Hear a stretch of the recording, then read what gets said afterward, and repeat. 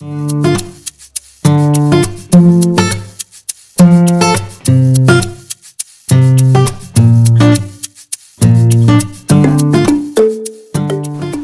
projet Cajou Lab est un projet innovant qui utilise euh, l'apprentissage automatique et les techniques de télédétection telles que les satellites et surtout les drones pour promouvoir l'agriculture intelligente face au climat au Bénin. C'est l'un des plus grands projets euh, du continent africain. Le projet utilise la cartographie assistée par drone des plantations d'anacardiers pour euh, mieux suivre ces plantations et mieux les gérer d'une part, et d'autre part pour pouvoir développer un outil numérique permettant d'automatiser l'analyse de la santé des plantations, les pratiques agricoles adoptées euh, par les producteurs afin de mieux identifier les problèmes de ces plantations-là et donc les besoins réels des producteurs en termes de formation. Euh, ceci permettra d'identifier les plantations et euh, de cibler les producteurs qui ont vraiment besoin d'être formés et de développer des modules de formation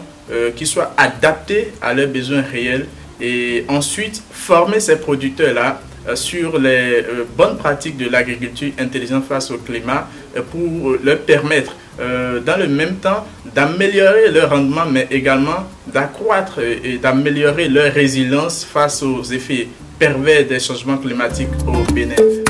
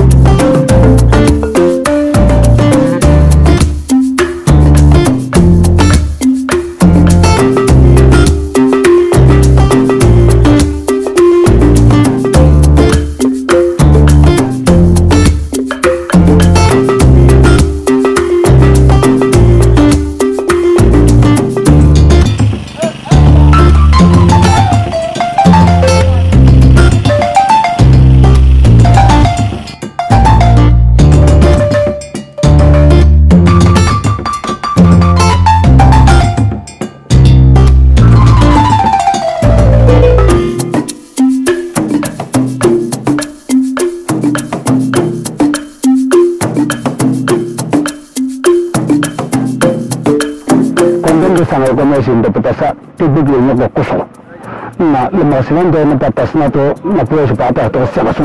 bi glu kusam di ta to sa su na ta ma su lu to bi na le na to sa da yes ma da ko sa da to da yes ma da ta da ma ma wo da ta ba na to da mi bi glu ne ni ma la ni ho to bi sin na to ta ma sta sa lu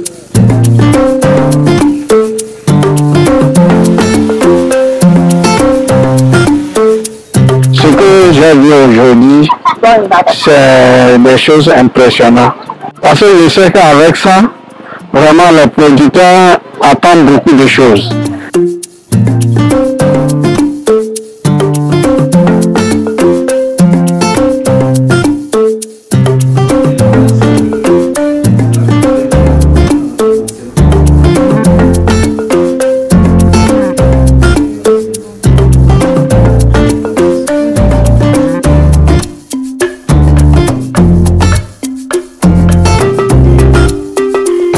Lorsque nous utilisons une technologie, qu'on appelle, une technologie telle que le drone, nous avons la possibilité de voir l'invisible, d'avoir les yeux dans le ciel, un peu comme on dit, et de pouvoir localiser tout type de problème qu'on a avec les plantations. C'est vraiment une technologie très innovante et avec ça, on peut arriver à des résultats et à des rendements qu'on ne pouvait pas avoir en pratiquant l'agriculture de la manière dont on la faisait avant. C'est excellent. Ça a dépassé mon entendement.